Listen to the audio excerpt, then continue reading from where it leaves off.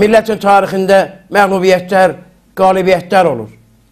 Azərbaycan xalqı 1988-ci ildən başlayan müsibətin qarşısında məhv olmadı, əzilmədi. Üstümüzə dünyanın bütün dövlətləri gəldilər ki, Sovet İttifaqının dağılması üçün erməninin bizə qarşı apardığı o agresiv işğalçılıq siyasətin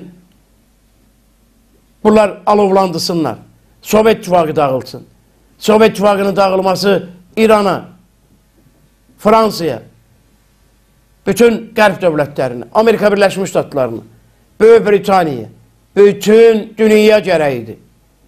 Ona görə erməninin bizə qarşı apardığı agresiv işğalçılıq siyasətin hər kəs dəstəklədi. Azərbaycan xalqı öz taleyi ilə üzbəüz tək qaldı.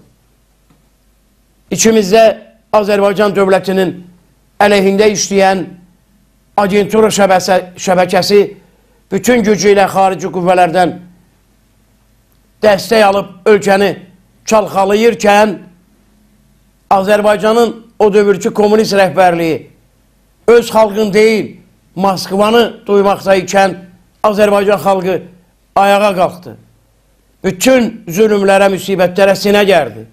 Şəhidlər verdi.